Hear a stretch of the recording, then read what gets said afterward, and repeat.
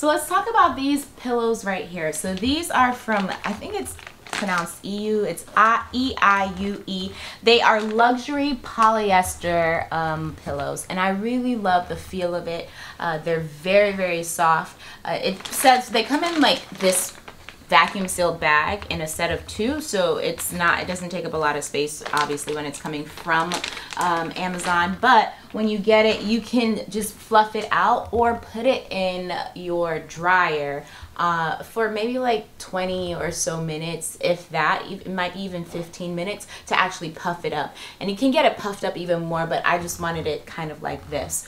This is very, very soft. It is machine washable, which I really like. Not everybody washes their pillows, they just kind of buy new ones. But if you want to do that, you know, that's an option to get a new pair as well. They're very soft, and if you can see, like, it's super elastic, right? So not like memory foam or anything like that. This is like polyester based, but very elastic.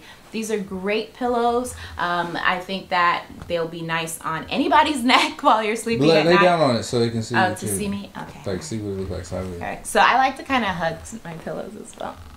No, I mean like lay lay, hold lay it All right. fine, fine, fine. There you go. So you see it, Yeah. it puffs up a little, but I'm still down enough to actually like be comfortable. And like again, I want to hug. There. I wish that was me.